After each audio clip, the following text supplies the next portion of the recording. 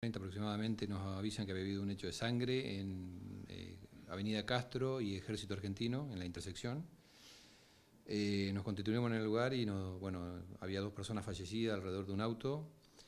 Eh, en principio, los testigos de ese lugar nos, nos, informaban de que este auto había llegado y había empezado a efectuar disparos de arma de fuego hacia la multitud, que estaba haciendo un reclamo, la verdad no sé qué era lo que reclamaban bien, pero había una manifestación ahí en la Boca Calle.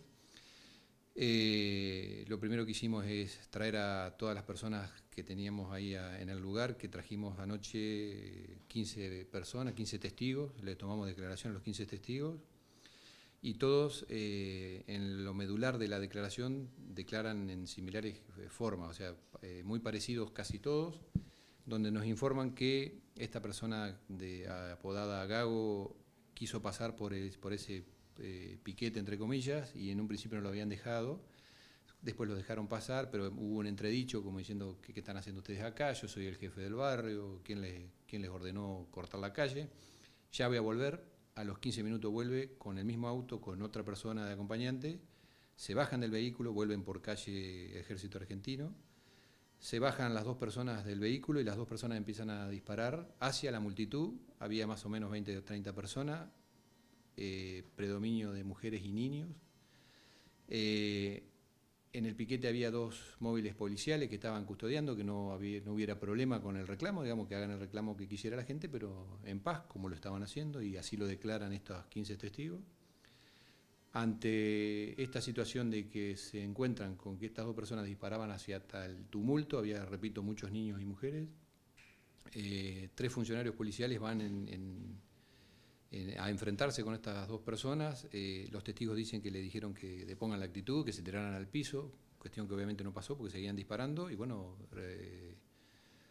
decidieron a, este, reducirlos y así fue, eh, eh, los, los, redujeron y bueno, hoy ya nos enteramos que ayer en el lugar del hecho falleció uno de ellos, el Gabo que le dicen, y anoche a eso de las 3.50 me avisaron de que había fallecido la otra, la otra persona.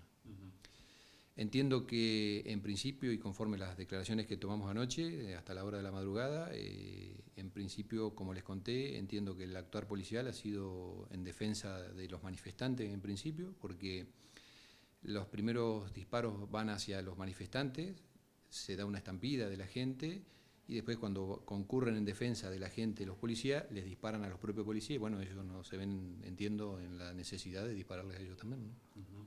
Eso de alguna manera por ahí aliviana un poco la carga de justamente las, las balas que fueron a parar al cuerpo de, estas personas que dispararon al tumulto de personas, de gente que estaba manifestándose. Eh, yo creo que sí, repito, prima facie, porque adviertan que todo fue anoche, 20.30, 21 horas, ¿no? no, no, desde ya eh, desde ya te entiendo que no, porque, repito, ya le tomamos declaración testimonial a 15 personas y todos dicen lo mismo.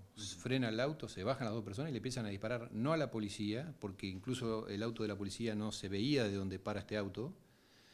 Eh, le empiezan a disparar al tumulto de gente. De hecho, tengo un video de un comercio de, de una de las ochavas donde se puede ver esto, de que toda la gente sale corriendo y que al, rato aparece la policía en defensa de la gente.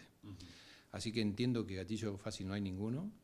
Entiendo prima fase, repito, eh, que ha habido un, absoluto cumplimiento del deber por parte de estos funcionarios policiales y dando gracias a Dios, a ver, es una pena que haber perdido estas dos personas, pero doy gracias a Dios de que no haya resultado en ninguna otra víctima, ni chicos. Y podría haber sido una matanza eso. Podría haber sido una masacre, porque hubo varios disparos, todos dicen que hubo entre 10 y 15 disparos, así que podríamos haber tenido otra situación hoy, ¿no?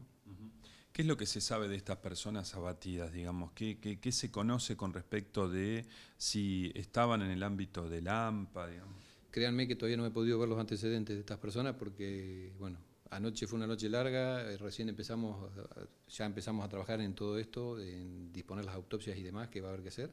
No he podido ver si tienen antecedentes o no. Así que no te puedo contestar eso.